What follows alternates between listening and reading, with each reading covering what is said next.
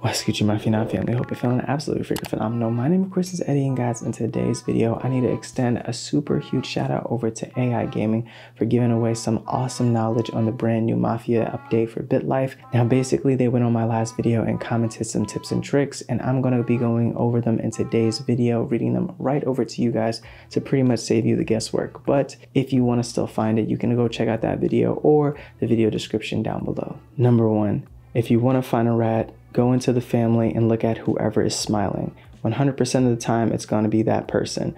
When you find them, your standing and notoriety increases. Number two, when you're asked to kill someone or shake them down, do it and don't make any excuses. Number three, when you become an underboss, usually around 35 to 40 years old, kill the godfather so that way the following year you can become the godfather. Number four, try to work harder every year. Your boss will see it and it will increase your chances of getting promoted. Number five, try not to spend time or be friends with any family members. You will still have a good relationship with them even if you don't talk with them. When you spend time or compliment the family members, your notoriety and standing will decrease. Now, this is actually very true. This really only comes in handy when you're trying to become an informant.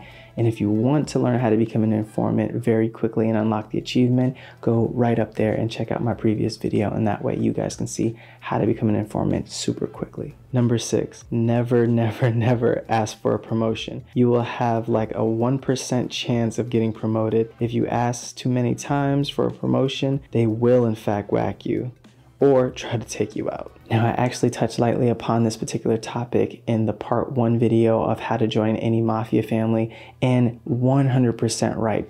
Do not, do not under any circumstances attempt to ask for a promotion because they will in fact come after you for absolutely that reason by itself. If you ask too many times, they'll catch you off guard, and if you age up, you're most likely gonna not make it the next year. You don't want to be that guy who just got into this organization and is like, oh, one year I'm working hard, and the next year, can I have a promotion? Because they're basically just going to turn around and be like, oh, yeah, you want a promotion? Sure. And last, sorry if some things I said were unclear. My English is not very good. I speak French. Well, AI to that, I want to say thank you so much. I appreciate it as well as the community. And to that, I just want to say one more thing. Je vous remercie. Votre aide. Et la communauté vous remercie aussi. So once again, thank you so very much AI for letting us know this valuable information. I thank you as well as the community reaches our thanks out to you. Again, you, my friend, are absolutely freaking phenomenal. And thank you so much for considering of dropping that knowledge here on my channel.